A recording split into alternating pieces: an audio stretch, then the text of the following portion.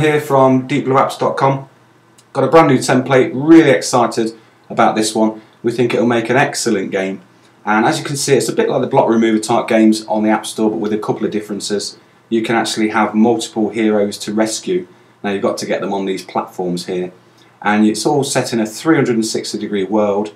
Now you can have more than one world or planet, and we'll come to that in a minute. Got various types of blocks, uh, bouncy blocks, uh, pusher blocks, explosions, uh, TNT blocks, etc, etc, to get you going. I've made three worlds as well.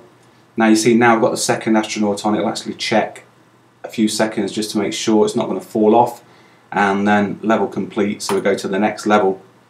You can see here we've got some pushers, now they will just keep going and going and going and just keep pushing and pushing and you can see that oh it's flying off into the other planet there. Um, so that's rather nice. We've got bounce here. You can see the hero bouncing. Pusher block has actually gone straight into the other one. Um, so there's the bounce on this one. And that's the second planet. You can have three four as many planets as you want. It's very easy to change the number of planets you require. And we go into this one. You can see here now we've got some TNT set up a couple of blocks here just to give you the radius of the explosion you can actually change that radius if you want to, if you want a smaller explosive area or a bigger one, it's up to you. So I'm just going to press on the TNT, you see you get a nice explosion effect there. Um, let's rescue all three of these if we can. This pusher block here, you can see we can use it to make uh, the level design a little bit more interesting and we've actually completed it. So yeah, a lot to do with this template. There's a lot of things you can do with it. So we've got various types of blocks. Uh, I've put three levels in, like I've said. Excuse me. There's no real real coding to do on this one. It's all in there for you.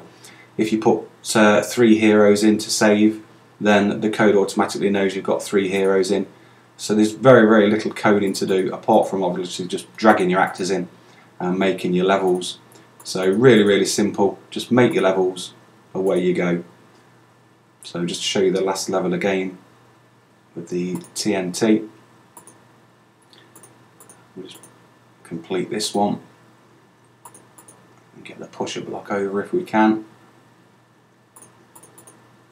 And there you go. You don't actually have to destroy all the blocks. I've never really seen the point in that. All you have to do is get the astronauts safely to the platform um, to complete the level. So it's a really cool template. Um, unfortunately, it's not available in the resource centre because we've used a third-party artist for this one. Um, but we're going to knock it out really cheap. And thanks for the support, guys. You've been amazing, and I'll speak to you soon.